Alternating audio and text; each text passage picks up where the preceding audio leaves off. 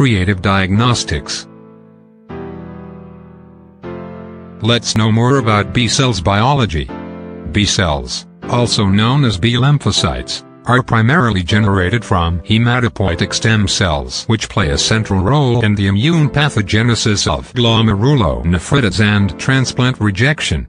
There still much remains to be understood about B-cell biology in order to determine the timing, duration, and context of optimal therapeutic response to B-cell targeted approaches.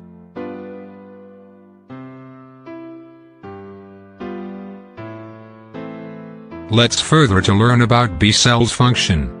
B cells can secrete antibodies through multiple mechanisms and their antibodies are the central elements of humoral immunity which against an almost unlimited variety of pathogens.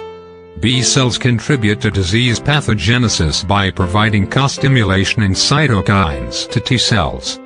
B cells also play an immunomodulatory role in regulating the immune response by secreting cytokines that inhibit disease onset and progression. The antigen recognition molecules of B cells are the immunoglobulins. These proteins are produced by B cells in a vast range of antigen specificities, each B cell producing immunoglobulin of a single specificity.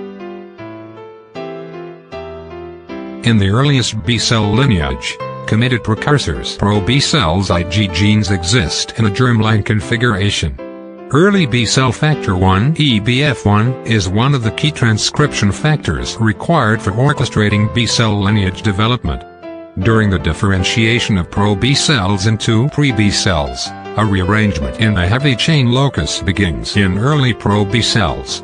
This which typically occurs at both alleles of the heavy chain locus, at which point the cell becomes a late pro-B cell.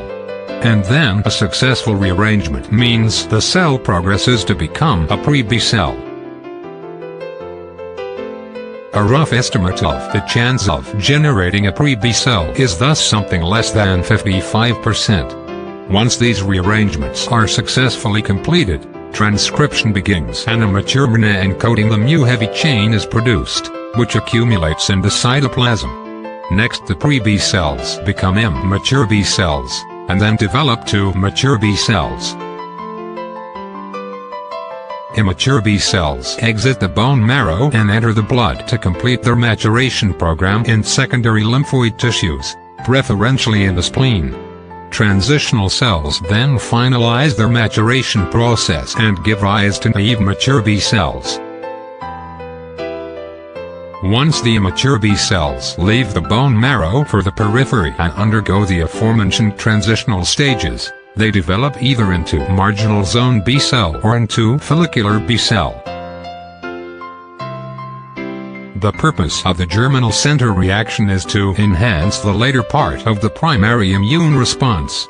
Some germinal center cells differentiate first into plasmablasts and then into plasma cells. Other germinal center cells differentiate into memory B cells. Memory B cells are long-lived descendants of cells that were once stimulated by antigen and had proliferated in the germinal center. These cells divide very slowly if at all, and they express surface immunoglobulin, but do not secrete antibody at a high rate.